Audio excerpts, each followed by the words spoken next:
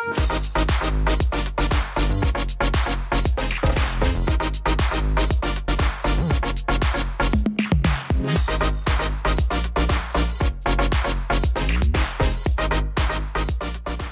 so in this session, I'm going to be showing Chris why he should be frightened of this tiny little ball here.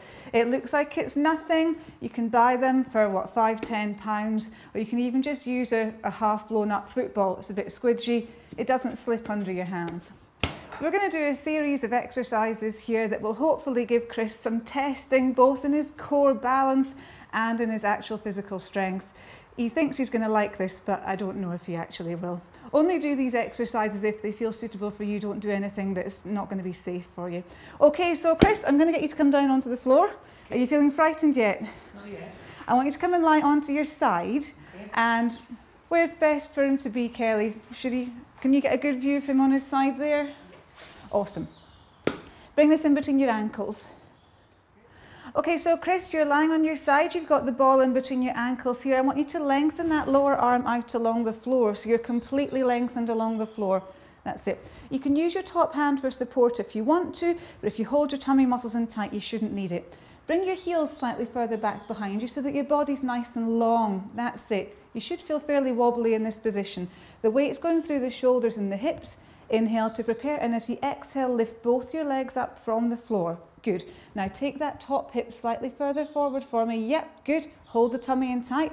From here, hold that bottom leg raised and press the top leg into the bottom leg. So you're going to do that 10 times. 10, 9, 8, 7, 6, 5, 4, 3, 2, last one. Hold it here. You're going to press that bottom leg up into the top leg. 10, 9. Try and release that top hand if you can. That's it. Tummy working hard to keep the balance. Don't lean on that bottom hand. Three, two, one. Okay, now you're going to hold the ball in between the ankles. You're going to lower both legs. You're going to raise them up. You exhale to raise, inhale to lower. Try not to let your waistline drop down into the floor as you do that. So you're keeping that length through the spine all the time. That's it. Three, four, five, six, seven, eight, nine, ten. That's brilliant. Roll over. I'm going to do the same thing on the other side. So that bottom arm is lengthened out, but it's quite relaxed. Now, one side is always going to be different from the other, so give yourself a moment just to make sure you've got that line through the torso. Bring your heels back a little bit more. Yeah, that looks good to me. Okay, so that top hand can support you if you need to, but try to loosen it off if you can.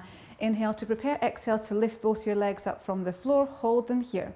Now, as you exhale, press that top leg into the bottom leg. So 10 and 9 and 8, 7. Use the stomach muscles to stay firm.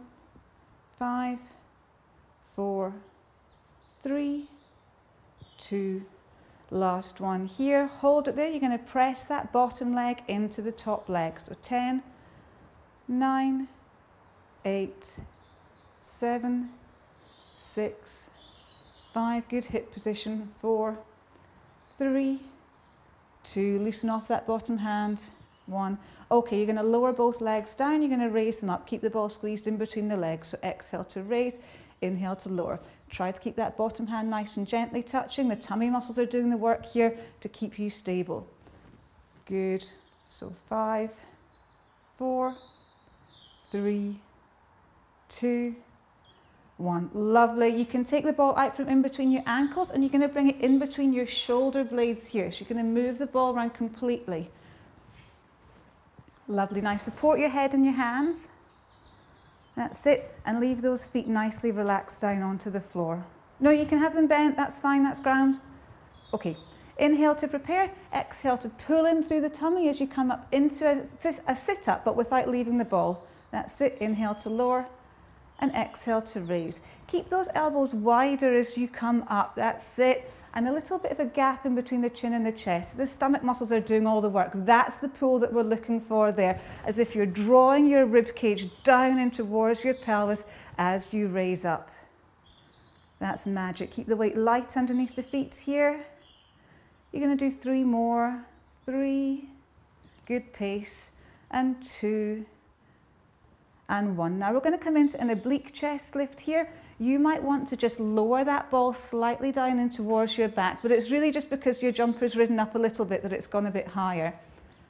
Good. Now hands in behind the back of the head again. You're going to raise up into your chest lift but roll into an oblique. So for the first couple, just keep it nice and small, alternating from side to side. That's it. Think of the chest as turning to the side, not the elbow, so the elbows stay wide. Good. And we'll do one more here. Now you're going to physically roll the ball underneath your body so it comes towards the side of your body. So you'll raise up but create a much bigger movement. Exhale to raise and roll it all the way underneath and back down again. Same on the other side. Good. You can come, you can come further into that move. Keep going. That's more like it. That's more like it. And other side. You feel how the ball's rolling underneath yeah. you? That's what we're looking for. Now, pretend you've got a jelly bean on each knee here. Don't let the jelly bean fall off the knees, but keep going. Exhale to raise and roll. Inhale to lower back down again. You feel how you're focusing everything on yeah. these obliques. Keep going. Good. So we're going to do four more to each side. Dig deep. That's it. How do the feet feel? Are they nice and light? Yeah. Good. I love how the knees are staying still. Lots of focus here. And this is a great pace to be doing this move. Good. You're going to do two more to each side.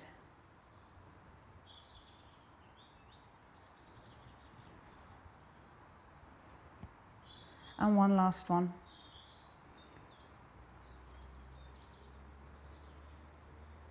Nicely done. Really good.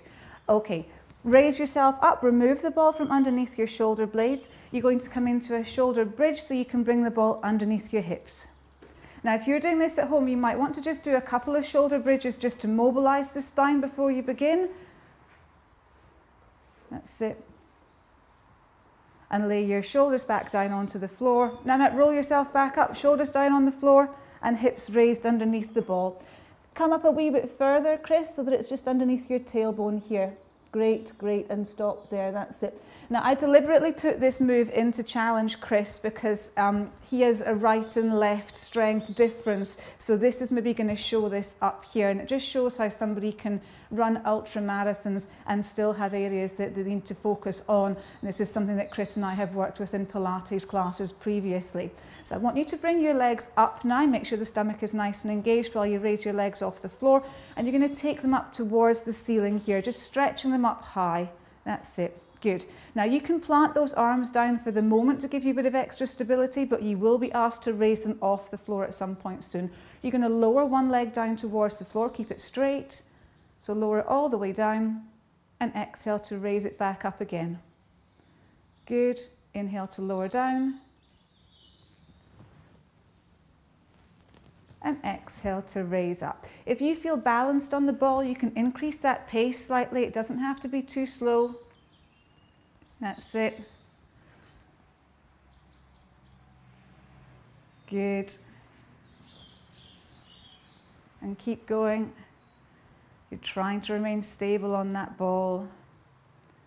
That's it. So now I want you to see how, what happens if you float your arms from the floor. Can you still keep going? That's it. Does it feel more challenging? Oh, yeah. I'll stay out of your eye line. It doesn't help when there's somebody moving around you too much. Good. Keep that stomach strong. Now, Chris is avoiding arching through the back, so he's holding his tummy in tight to prevent any raising of his lower back here. And that's what's keeping him safe through this move. But to do that is causing him an awful lot of strain through these tummy muscles, and he's having to work hard. He's using his breath to control that, and he's doing a brilliant job. One more each side, Chris, and why don't you see if you can raise your hands all the way up towards the ceiling? Okay. That's it. Last one, each side. Oh, you can see the shaking going on there. That's what we like. The last one there, brilliant job. You can bring the hands down and return those feet back down to the floor. That's excellent. I'm going to get you to turn around now, and you're probably best with your head towards the camera I want you to be lying on your front and you'll have just the area underneath your elbows on the ball. And we raise up and back. Exhale. Keep those arms straight. Straighten those arms. That's it. Good. So this is the cobra move on the ball. Keep the arms straight all the time. Two more. Last one, raise up here, hold it here. Now bend the elbows, pulling them in towards the chest and lengthen them away again. Stay hot, stay tall, stay high.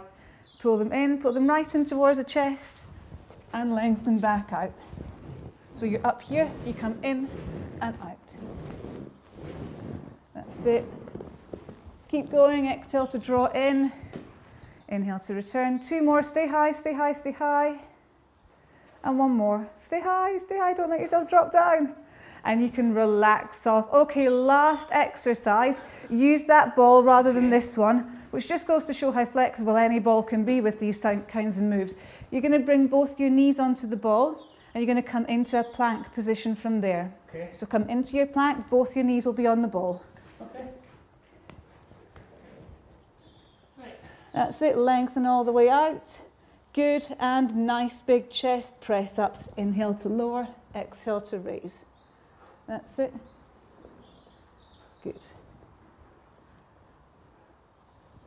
We're going to do one more from here. And now we're going to make it a bit tougher. You're going to bring that ball underneath your feet. Okay. And you're going to do the same move again. Whoa. Okay? Come on, if I'm in the position, you're getting in the position.